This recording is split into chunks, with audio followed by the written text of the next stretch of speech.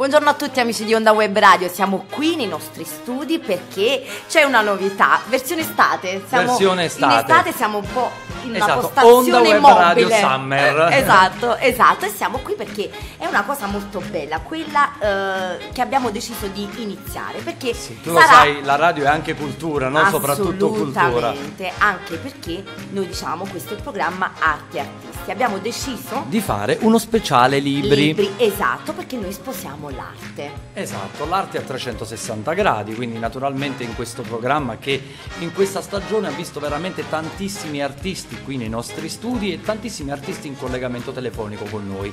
Questo Esatto. speciale libri è molto bello perché? Perché ci stiamo avvicinando tra l'altro all'estate, quindi se tu immagini una persona sotto l'ombrellone che sta in quella fase di relax, che cosa fa? Eh, deve leggere, deve, leggere, leggere. dei libri allora? che hanno comunque dei contenuti, anche perché si tratterà di uno speciale libri, ma chiaramente scelti ad hoc per i nostri ascoltatori. Assolutamente sì, quindi noi proporremo una serie di libri ed Sì. una serie di autrici perché questo sarà il primo di una lunga serie. E ce lo auguriamo, ce lo auguriamo. Adesso per il momento abbiamo un ciclo di cinque autori, però ci auguriamo che ce ne siano tantissimi altri.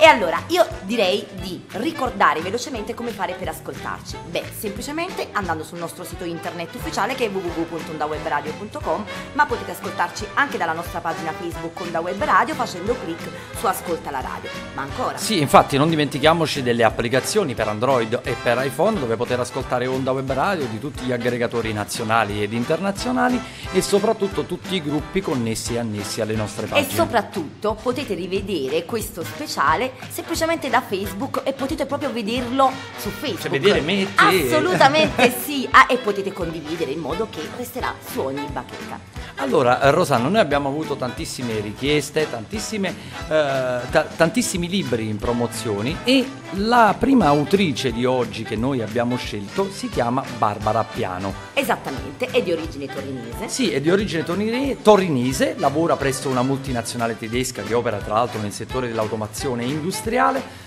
Scrittrice prolifica di molteplici interessi, ha pubblicato già numerosi racconti e romanzi. Oggi noi insieme a lei ne citeremo almeno quattro. Almeno quattro e chiaramente parleremo di questi libri. E allora, se tu sei d'accordo, Sì. la chiamiamo? Vai, Vai. E allora, Francesco, facciamo questa telefonata in diretta.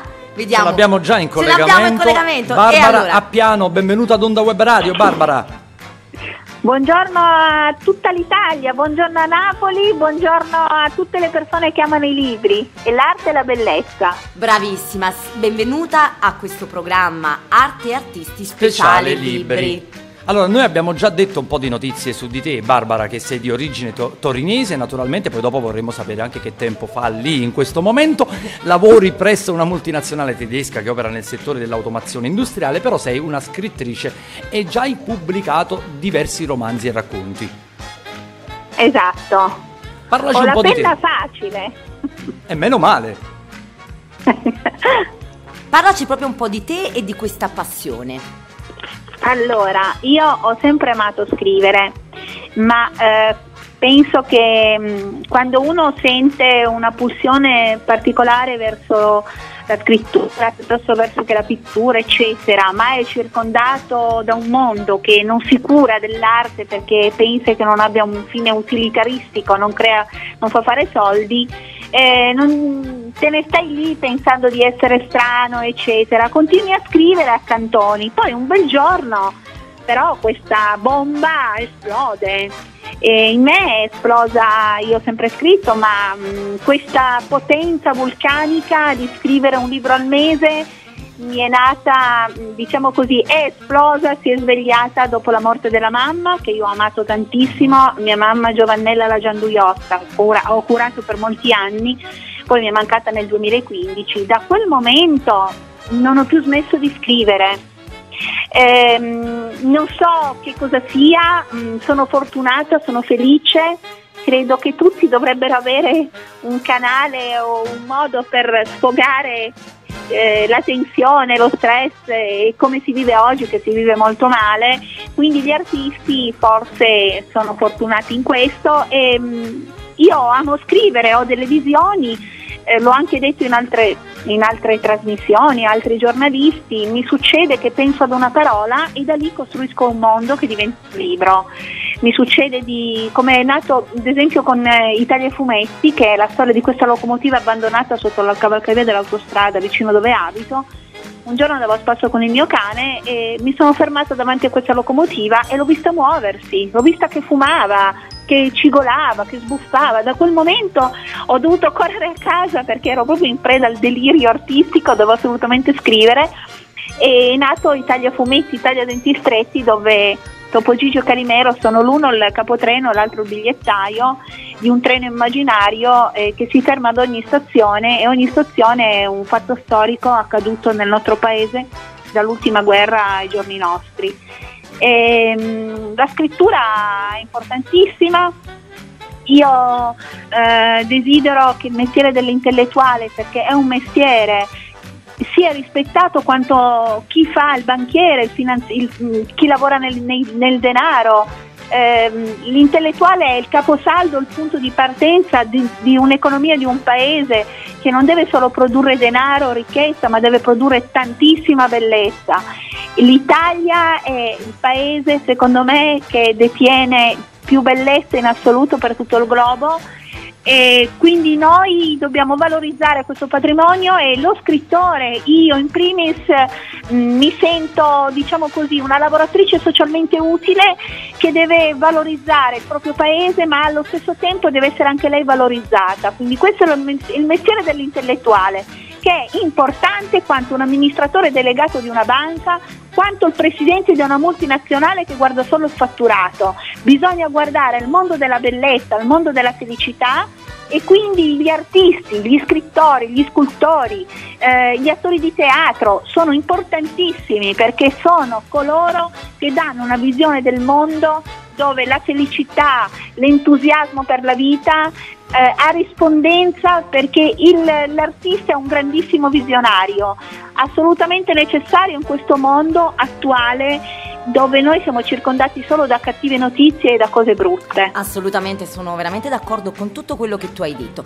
Volevo sapere, prima poi di addentrarci in quelli che sono appunto i tuoi libri di cui mh, hai già Uno parlato. Già svelato, esatto. esatto. Quando hai iniziato a scrivere la prima volta? Allora, la prima volta avevo circa 22-23 anni, eh, pubblicai un mio primo libro di poesie come un'idea come uno scherzo, poi pubblicai un volumetto di racconti e andai anche al Maurizio Costanzo Show nel 1991 già allora protestare contro le lobby dell'editoria, ehm, contro le multinazionali della scrittura. Mi ricordo che era ospite con me Guido Davico Bonino, che era presidente, mi sembra, di, un, di un'associazione teatrale, oltretutto insegnava anche teatro a Torino e già allora io sentivo questo spirito di ribellione rendendomi conto che mh, c'era già allora un grande un appiattimento culturale, una volontà di appiattire la cultura. Da quel momento poi ho sempre scritto, ma ho sempre accantonato perché avevo altre cose da fare, la mamma da curare, andare in giro per lavorare, certo. eccetera. Ehm, però anche nel mio lavoro di comunicazione industriale io ho sempre cercato di mettere la mia vena artistica andando a cercare dei prodotti industriali che costavano poco, modificandoli e trasformandoli in una soluzione per, per dei, dei, clienti che per me sono le grandi industrie tipo la Danone, tipo la Iveco. Eh, quindi secondo me la creatività mia è, è, sempre stata diciamo così in letargo come se fosse un orso marsicano. Poi a un certo punto la mamma probabilmente ha sempre capito la mia grande vena artistica, questa potenza che ho anche, che cerco di trasmettere quando spiego come sono, penso che si senta questa potenza che ho dentro. Forse eh, mi ha lasciato, eh, si, è, si, è, liberata lei, ha lasciato la figlia libera finalmente, tra virgolette perché mi manca moltissimo, eh, di andare avanti a scrivere, tant'è che io ho una creatività, io scrivo tutti i giorni. Ma infatti prima ci hai parlato di un libro al mese più o meno. Io sì. la domanda che volevo farti è come riesci ad organizzarti, a coordinarti con ecco, la tua vena artistica, quindi nello scrivere, con il lavoro che tu invece svolgi ogni ma io, giorno. Ma io, ma io allora ehm, sto cercando praticamente di eh, virare completamente verso la scrittura perché mh, mm, penso al fatto che a un certo punto nella vita uno sente, la, sente se stesso, si ascolta. Um, il denaro sia importante fino a un certo punto, la carriera sia importante fino a un certo punto, ma io non sono una persona fatta per la carriera, io sono una che vuole inventare, che vuole creare, quindi io praticamente mi sto affrancando dal mondo del lavoro per ehm, vivere, eh, anche se molto complicato in Italia, perché il mestiere dell'intellettuale non ha uno stipendio, non, è, non ha nessun riconoscimento ufficiale, di vivere proprio di scrittura e di recupero. Io ho fondato adesso, eh, ho fondato, ho creato un sito collegato al sito dei libri, resuscitorecupero.pianobarbara.it dove vado nelle discariche italiane eh, proprio per lustrare. Ci sono gli altri che fanno lo shopping nelle vie dei grandi nomi, eh, lo shopping compulsivo. Io invece vado nelle discariche e salvo il mondo, salvo gli oggetti, perché io sono convinta che gli oggetti hanno un'anima. Che bello. Li restauro, li porto a casa, sì, e poi li faccio parlare con i miei libri, perché su Resuscito Recupero, appunto a pianobarbara.it, ogni pagina, eh, cliccando, lei entra dentro la pagina del libro, della copertina, ma a fianco ha un esempio di recupero ambientale e paesaggistico che io ho creato. Io, eh, sa, io so, ho imparato a saldare, eh, so saldare, so usare il flessibile, mh, mm, mestieri molto maschili, perché io sento proprio la manualità, la gestualità dell'arte, della creatività come un impulso nelle mie mani. Quindi mh, mm, cosa faccio? Recupero delle cose e gli do una seconda vita. E in questa seconda vita queste cose parlano in modo filologico con i libri, anche se sembra apparentemente che le cose non abbiano niente in comune non si possano parlare, l'umanità è molto distratta, non coglie il nesso delle cose, invece l'artista lo coglie e io voglio dare una dimostrazione pratica che il nostro è un paese bellissimo e che le discariche possono essere un punto di partenza per ricostruire un mondo partendo dalle cose che noi buttiamo. Basta consumismo, bisogna recuperare eh, rispolverare la bellezza di saper fare le cose, la manualità. Io aggiusto mobili, eh, mi interesso di, di, meccanica, aggiusto gli orologi, eh, restauro, vado a stuccarmi le, le, parti rotte di un mobile, poi li svernicio, li ricoloro, gli, gli creo una nuova vita, ma in questo modo io creo anche un paesaggio emotivo alle persone, perché se le persone sono abituate a, a vedere le discariche durante uno passa nelle autostrade, viaggia, vede discariche, odori, tutta la roba buttata, ehm, quindi noi siamo un popolo anche un po' indisciplinato sotto questo aspetto e io do una versione diversa di questo mondo, di questa, di, vogliamo essere ecologici, benissimo, lanciamo una giornata nazionale dove le persone vanno a riscoprire il valore, tra virgolette, sostenibile, tra virgolette, delle discariche. Io l'ho fatto creando questo sito che potrebbe anche diventare un lavoro. Perché non recuperare il mondo che gli altri buttano? Punto di domanda. E l'intellettuale lo può fare perché dà un senso alle cose, facendo parlare i libri con gli oggetti. Con gli oggetti. Che bello, guarda, ma eh, poi tra l'altro tu lo trasmetti proprio, hai un carisma, io non ti conosco, però mi sta arrivando tutta la tua positività ed è molto molto bello. Infatti volevo chiederti, ma eh, chi, è, eh, chi sono i tuoi lettori? Allora, io i miei lettori mh, mm, personalmente non li conosco, cioè io eh, eh, quelli che conosco sono quelli che eh, ho il contatto visivo quando vado a presentare i libri, ma per esempio io vado a leggere i miei libri negli ospedali perché io sono un ex paziente oncologica sotto controllo. Eh, ho vissuto l'esperienza di, un, di aver scoperto un tumore l'anno scorso, l'ho debellato perché me ne sono accorta in tempo e anche in questo caso ho fatto un'esperienza secondo me mm, che mi ha trasformato il mio modo di concepire la malattia. Io credo parlando del mio libro dove lui parla come se fosse una persona, 18 mm di indifferenza, la cicatrice della mia esistenza, che lui abbia uno stato di coscienza larva, larvale ma ce l'ha. Io credo che il tumore sia la malattia dell'infelicità, quindi eh, questo libro viene letto ai pazienti oncologici, ai pazienti che mh, sono malati di paura, perché purtroppo culturalmente parlando il tumore fa paura già come parola, figuriamoci quando uno scopre di essere ammalato.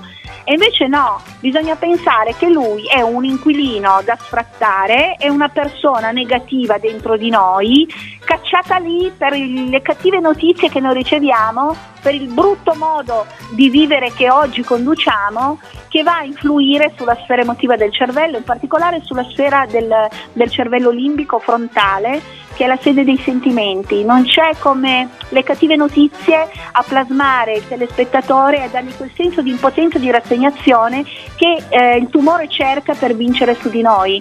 Il tumore è una persona, tra virgolette, intelligente perché quando ti colpisce, ti colonizza, non va mai al cuore, perché gli serve il cuore per pompare il sangue arterioso. Quindi prima va a, va a colonizzare tutti gli altri organi. Poi a un certo punto, quando tu ormai sei diventato una larva perché ti hanno tolto la forza di combattere contro questo bosone di X, particella scomunicata da Dio, io lo chiamo così nel mio libro, che succede? Ti danno la morfina. Ma è lì che entra in campo la domanda e il dogma. Ma se la morfina eh, addormenta tutti gli organi, perché lui non si addormenta? Cioè mi addormentano il dolore così io non soffro non sento più nulla, ma lui continua a lavorare, quindi questo vuol dire che questo bosone di X, eh, protagonista di questo mio libro, è eh, una persona, una persona che deve essere assolutamente sconfitta perché è la negazione di Dio, la negazione della bellezza. Per fare questo bisogna fare cultura eh, a 360 gradi sulla capacità dell'uomo e della propria mente di sconfiggerlo attraverso la voglia di vivere, attraverso la riscoperta dei valori, attraverso la visione di vedere una discarica come se fosse uno shopping, una via dello shopping delle vie eh, chic di Milano, eh, dove puoi trovare un mondo eh, che non vuole rassegnarsi a morire. Quindi basta rassegnazione, i libri sono il cuore del mondo. Io scrivo perché c'è qualcuno dentro di me, una molla a livello inconscio che mi dice delle cose che io scrivo. Io mi sveglio di notte, penso, sogno delle cose, mi sveglio, scrivo sui foglietti e poi magari da una parola nasce un libro, dalla visione della locomotiva nasce un libro, da 18 mm che era la, la dimensione del mio tumore è nato un libro dove lui parla di noi con molta ironia dicendo quello che noi dobbiamo fare. Cos'è che dobbiamo fare? Amarci, volerci bene, rispettarci, basta antagonismi, basta finzioni, ci vuole tanta verità, tanta sincerità, tanta bellezza. Io sto scrivendo un libro contro la chirurgia plastica, ad, cioè l'invasione del botulismo che ci trasforma le facce, che ci eh, impedisce di amarci per quello che siamo. Questa è la funzione dell'intellettuale. L'intellettuale è fondamentale, più importante di un amministratore delegato che pensa solo al fatturato, perché dall'intellettuale, dal pensiero nasce una società, nasce la sociologia, nasce la modalità di pensiero, di approccio verso l'economia, nasce tutto. Quindi io vorrei che le istituzioni, il mio governo, il mio paese si accorgesse dell'importanza fondamentale degli intellettuali, dei pensatori, senza i quali il mondo non può progredire, non può andare avanti e attraverso il libro si deve riscoprire il valore della scrittura, dell'arte, della bellezza. Le persone non leggono più, esatto. bisognerebbe lanciare la giornata mondiale della lettura Beh, lanciamola, lanciamola, lo faremo, ci penseremo. Lanciamola, lo faremo. Beh, abbiamo parlato di Italia a fumetti e Italia a denti stretti, naturalmente abbiamo accennato anche quello che è il tuo libro 18 mm di indifferenza. Sì. E sì. Bo- noi ne abbiamo scelti altri due. Il primo è il pianista velocista Cottimo. Sì. Ecco, parlaci un po' di questo. Questo è un libro pazzesco, è un libro, eh, io volevo scrivere un libro sulla funzione del lavoro oggi sulla disumanizzazione del lavoro che prima disumanizza il nostro lavoro, poi arriva a disumanizzare noi. E mh, mm, il luogo ideale eh, per vedere questo, per vedere l'alienazione dell'uomo, è proprio, sono i call center. Esatto. Quindi io, sì, io eh, mi sono praticamente camuffata, mi sono fatta assumere in un'agenzia interinale che per due mesi mi ha mandato in Valle d'Aosta a lavorare in un call center. Eh, dove io facevo eh, l'assistenza tecnologica a due grandi multinazionali dell'industria farmaceutica e delle protesi valvolari, non posso dire i nomi, comunque certo. sono dei colossi.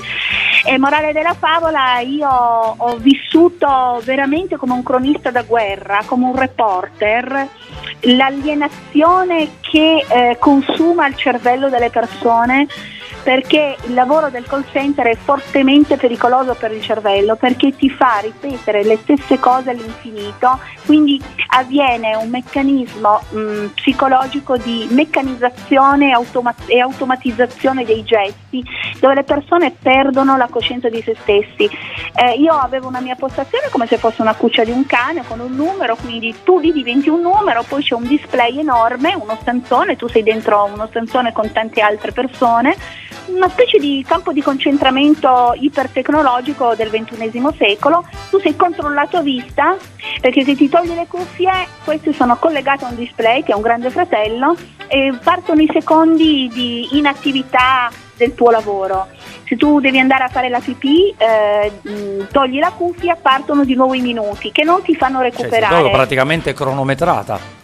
Sì, poi io sono stata scoperta, eh, ma a quel punto lì non me ne fregava più un tubo perché non me ne fregava più niente perché comunque io il libro l'avevo quasi scritto, io l'ho scritto di nascosto mentre lavoravo, perché non ti fanno tenere block notice, non puoi avere niente ti devi portare la carta da casa se ne hai bisogno e anche la penna, la penna, per scrivere o la pinzatrice, quindi la cancelleria loro non te la danno. E stiamo parlando Io dei grandi colossi, lo ripetiamo. Sì, di grandi colossi, esatto. Poi eh, che cosa succede? Che mh, mm, in questo libro io parlo di Pierpaolo Pasolini, lo cito, come cito anche Adriano Olivetti, che secondo me bisognerebbe ritornare a rispolverare il loro pensiero, soprattutto per le nuove generazioni, per due motivi. Il primo perché Pierpaolo Pasolini è stato un grandissimo, forse pari a Dante in quanto a numero di pagine scritte, si parla di 20.000 pagine, un genio poliedrico che spaziava dal teatro alla poesia al romanzo, una roba pazzesca. Poi, vabbè, fortemente discriminato, perché questo è un paese che ha il lato oscuro della discriminazione della emarginazione se non sei comunque conforme a quello che dice la società.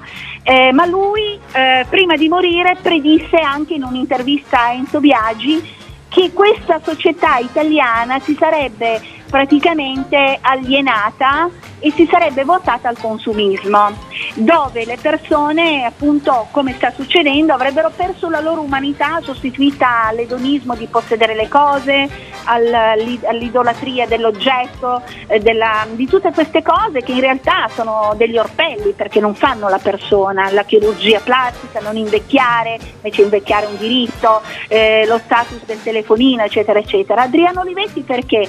Perché Adriano Olivetti è stato un grande imprenditore intellettuale, credeva in una società illuminata, pensava che si potesse creare una fabbrica ideale dove le persone mm, potevano anche crescere culturalmente, tant'è che nel, dove lui aveva creato l'Olivetti aveva la biblioteca, la sala di musica, lui del, aveva creato delle borse di studio, voleva promuovere i talenti, quindi queste due persone dentro questo libro a un certo punto fanno delle interviste a questi impiegati di call center, i quali sono ehm, oberati dalle rate perché si indebitano per comprare la macchina nuova, perché ne hanno bisogno per andare a lavorare piuttosto che la vacanza e vivono con un termometro nel cervello.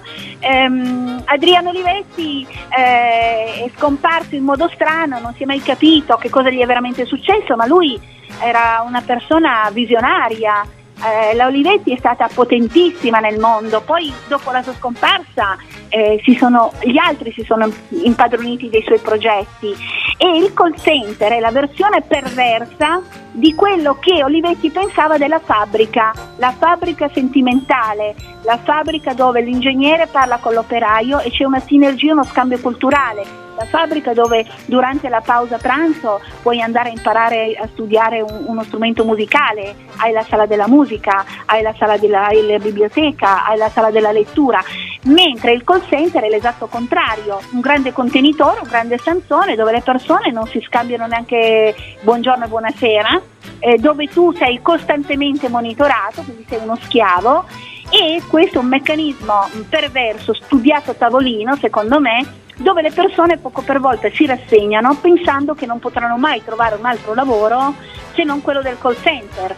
io ho conosciuto persone stralaureate, piene di eh, attestati di, di eh, corsi di questo, di quello, di master, che a un certo punto vanno a lavorare in questi posti dove la mente, questo è spiegato anche da un punto di vista medico, ha dei danni Lavorare nei call center ha dei danni psicologici ma anche fisici perché ti fa, portare, ti fa, arrivare, ti fa venire la pressione alta, ti fa venire dei disturbi cardiovascolari soprattutto ti crea una forma di alienazione mentale che tu quando esci di lì sei completamente intontito.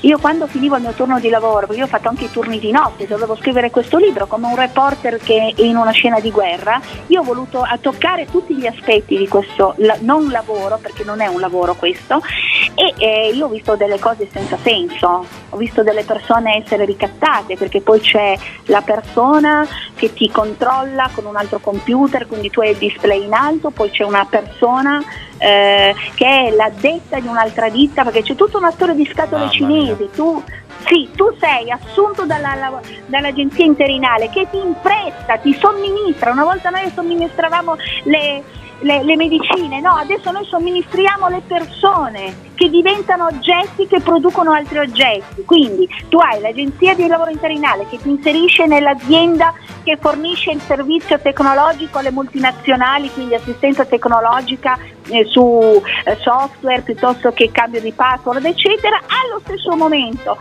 tu sei imprestato alla seconda ditta, ma il prodotto dell'assistenza software che tu devi dare al tuo cliente finale, che è la multinazionale farmaceutica, viene creato da una terza ditta che è quella che ti manda la capo di turno del XXI secolo a controllare la tua efficienza. Quindi l'uomo viene disumanizzato diventa un prodotto che produce un altro prodotto, fino a quando non è lavorato che viene buttato via. Quindi il lavoro interinale è la disumanizzazione del lavoro, perché se una società è sana non ha bisogno di creare il lavoro interinale. C'è lavoro per tutti. Il lavoro interinale è stato creato per creare diffidenza, invidia e rivalità fra i lavoratori, tant'è che in questo posto dove io sono stata due mesi, i colleghi tra di loro non si parlano, viene praticata la delazione da portare le informazioni alla capo perché tu in questa maniera ti salvi il tuo posto di lavoro. Adriano Olivetti non voleva tutto questo, Adriano Olivetti crea, aveva la fabbrica sentimentale e noi invece abbiamo creato la fabbrica perversa. Il pianista velocista Cottimo è il, l'addetto video, al video terminale che come un suonatore di piano, come un pianista, digita sempre nella stessa maniera, nello stesso tono di voce, per massimo di due minuti deve dare il servizio telefonico, quindi è un velocista Cottimo perché deve fare efficienza e non deve sbagliare. Ecco, tu hai utilizzato la parola mente e proprio sulla parola mente io volevo passare invece al quarto libro che è Echi nella nebbia a ridosso del cielo, perché è un flusso di coscienza, diciamo che è un racconto impetuoso che si sviluppa su piani temporali diversi per affrontare proprio il delicato tema della salute mentale. Tu ce ne hai parlato sì. in questo libro, vorrei ecco, eh, concludere proprio questa intervista eh, parlandoci di questo libro che, dico la verità, tanto mi suscita proprio curiosità. Allora, eh, è un libro che ehm, io ho scritto quando ho scoperto l'esistenza di una mia prozia di cui non conoscevo, non sapevo se fosse esistita, perché ero a casa di mio zio, eh, mio zio Pinotto, fonte di grandissima esperienza, narrazioni, indovinelli. Io lo chiamavo 86 cilindri perché quando è morto avevo 86 anni, lui era come un, un diesel che si accendeva sempre, aveva 86 cilindri, quindi 86 cilindri eh, mi racconta la storia della prozia Francesca il giorno che io rinvengo in questo cassetto un certificato di morte di questa zia. Lui si ricorda tutto di questa zia perché questo certificato di morte è stata fonte di tantissime grane per tutta la famiglia di mia mamma, quindi eh, la prozia era la sorella di, di mio nonno materno, nonno Ernesto, perché questa prozia era schizofrenica fin da piccola, emarginata, siamo nel profondo Vercellese, siamo agli inizi del secolo, lei era del 1887, eh, quindi era una persona che aveva delle visioni, aveva delle visioni, parlava da sola, aveva un suo amico immaginario che si chiamava Emilio, parlava sempre con Emilio. Francesca cresce, trova un fidanzato, questo fidanzato lei fa tutto il corredo, si adopera per fare il corredo perché così era il mondo, così era la, eh, la prassi no? il matrimonio, però a un certo punto questo qui se, se la dà a gambe, se ne trova una che è più ricca e non parla da sola e Francesca cade ancora di più nella sua schizofrenia, tant'è che diventa un mondo ideale dove si rifugia.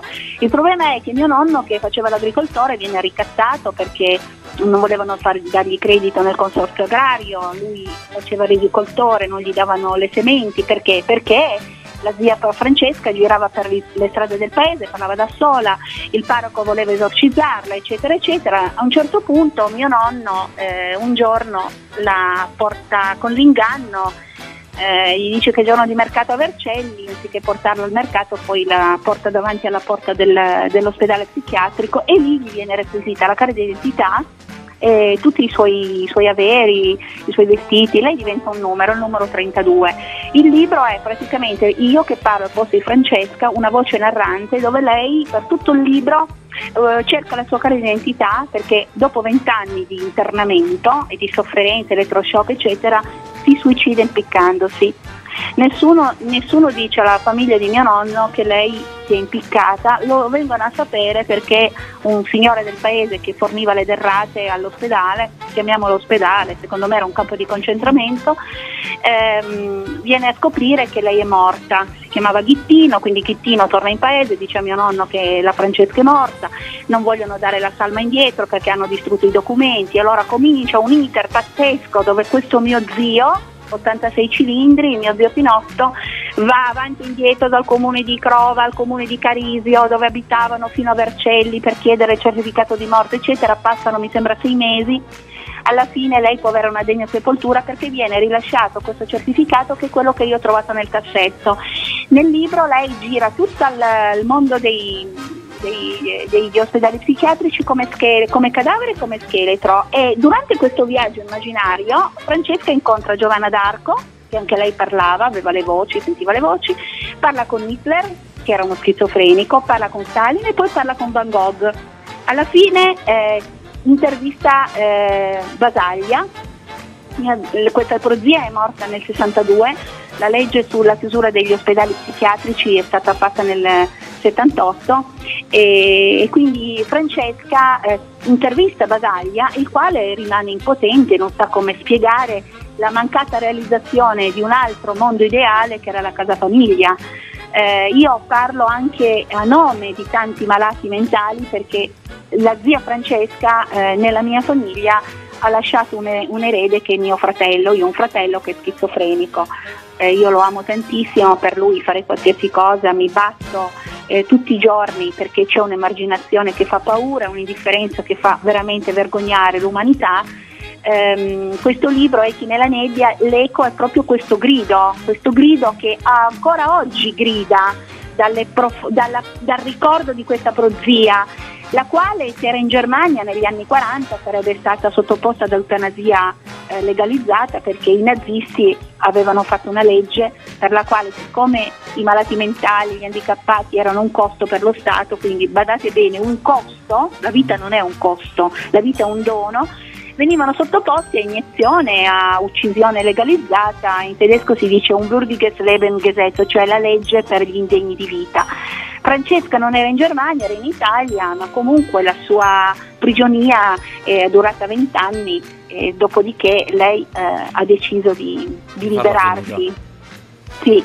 E questo libro eh, diventerà presto, entro la fine dell'anno, un, un, dramma teatrale. Io ho scritto i dialoghi e la CAD di Milano, eh, dove lavora anche una vostra conterranea, la Monica Pariante, la doppiatrice Monica Pariante stanno cercando di costruire questo dramma teatrale da mettere in scena prima a Milano e poi speriamo, magari veniamo anche a Napoli a metterlo no? in scena se ci date una mano. Perché no, Ma assolutamente. assolutamente sì, anzi guarda mi hai fatto venire una gran voglia di leggere i tuoi libri per Ma intero. io sarei sì, qui eh, ore ed ore ad ascoltarlo. E se ti sono... trovi a Napoli, al di là di tutto, vienici a trovare, cioè contattaci, conserva sì, il nostro io, numero. Io, io Napoli ce l'ho nel cuore perché anni fa quando ero molto più giovane ho collaborato anche con Domenico in Korea. Eh, l'ho conosciuto personalmente, eh, ho visitato Napoli, poi ho visitato la costiera malfitana, sono andata nelle zone del terremoto dell'80, nell'Irpinia Napoli è una città bellissima e anche la lingua napoletana, guardate bene, io non dico dialetto, no, io no, dico anche lingua. Noi, anche per noi è, è una un lingua. rica- è un ricamo che sale come un eco nel cielo a ridosso della nebbia, Esatto, perché esatto. Beh, e devi da- scrivere un libro.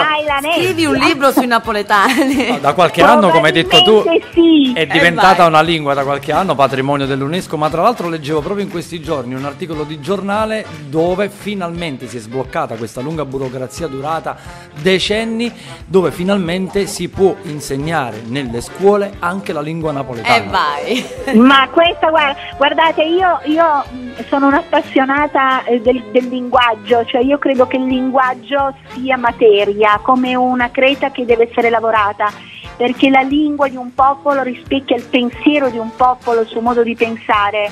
Io eh, sono contro l'imbastardimento della lingua italiana, che è una lingua stupenda. Noi abbiamo il 60% del patrimonio mondiale di bellezza, la lingua italiana è una lingua ricchissima, nessuna lingua, io ho studiato altre lingue quindi lo posso dire, ha ehm, i termini, i sostantivi, la lingua inglese è molto povera e ci sta condizionando perché ci sta impoverendo.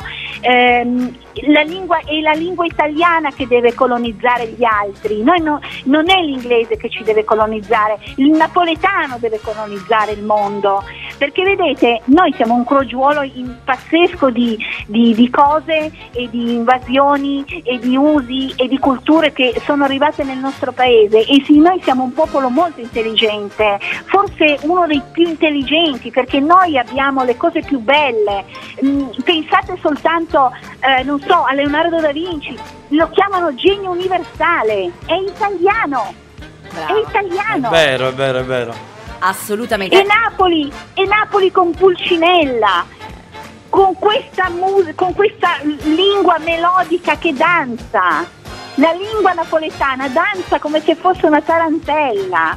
Non è necessario danzare, basta parlarla la lingua napoletana perché è musicale, è dondolante, è dolce, è, è- è qualche cosa che gli altri paesi non hanno. Allora, ti hai, un- detto, hai detto la parola tarantella. Beh, la tarantella a Napoli significa tantissime cose. Ti invito a studiare questa parola, ti verrà sicuramente in mente di scrivere un libro. No, ma, Grazie. ma Barbara parlando già è venuta in mente di scrivere un libro, oggi sta già pensando. Esatto. No, io volevo fare Barbara un riepilogo un po' di quattro i titoli di questi quattro libri che abbiamo parlato oggi, quindi Il pianista velocista a Cottimo, Italia a fumetti e Italia a denti stretti, Echi nella nebbia a ridosso del cielo che è l'ultimo che abbiamo parlato e 18 mm di indifferenza. Eh, questi quattro libri concludiamo la nostra eh, telefonata dicendo dove poterli acquistare, dove poterli trovare, siti internet, Allora, pubblicizzati insomma. sì, n- nei vari, nei vari store, ma anche nelle librerie. Io dico una cosa importante a coloro che non, non sono abituati a leggere. I miei libri eh, sono importanti per un fattore, perché io devolvo il ricavato dei miei libri a delle associazioni, alla Pengo Life che è un'associazione che si occupa della salvaguardia della fauna selvatica in Africa, in particolare dell'elefante africano e del rinoceronte che sono a rischio estinzione. Noi abbiamo solo più 300.000 eh, elefanti in Africa, se avanti così tra 15 anni non abbiamo più. Poi eh, un'altra associazione a cui do soldi attraverso il ricavato del mio, del mio lavoro di scrittrice e produttrice di cultura è l'Istituto Oncologico Europeo, Fondazione Umberto Veronesi. Poi sostengo il Centro Cardiologico Monzino che lavora sulle, eh, sulle malattie cardiovascolari che ha curato mia madre per tantissimi anni. Collaboro con il Museo del Mare di Milazzo, sarò a settembre a Milazzo a presentare un libro che riguarda la storia di un capodoglio morto per aver ingurgitato la plastica.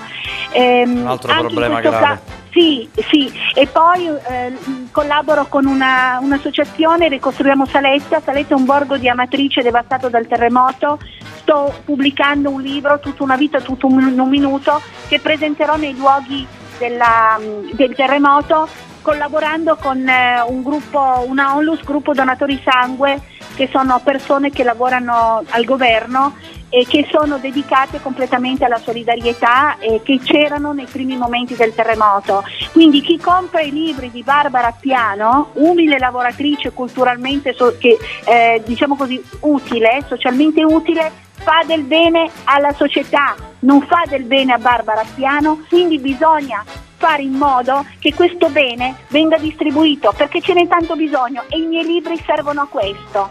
Io devolvo tutto l'incasso dei miei libri a queste associazioni. Beh, sei una, sei una, forza della natura, noi veramente ti ringraziamo, grazie per questa disponibilità e grazie per aver fatto parte di Arte Artisti. Grazie È Barbara. È un grande piacere per me, io saluto tutta Napoli, i napoletani e voi.